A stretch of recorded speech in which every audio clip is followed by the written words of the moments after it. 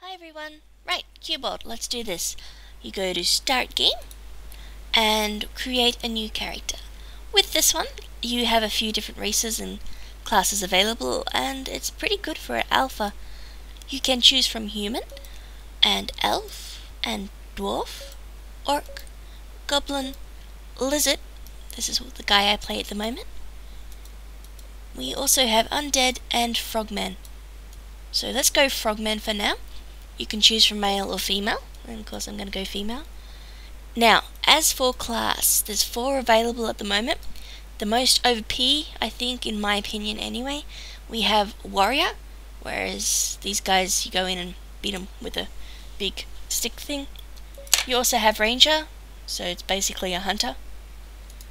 There's mage, self-explanatory, shoot spells. These guys can also heal themselves. And we have rogue, so stealth attacks and that whatnot, but I want to go warrior. Now, also, different faces available, so you just choose the face you want. And I'm going to go... Yeah, I don't like that one.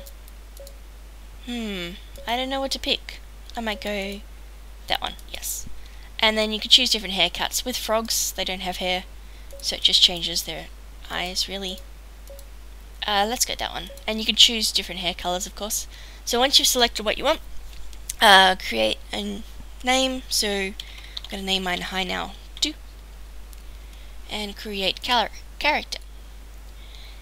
This is something that you may not be familiar with. Uh, as you start a new world, you must select a seed, but this can be anything.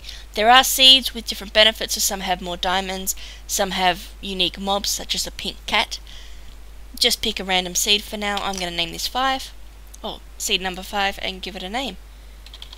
And create world. Now you're ready to play.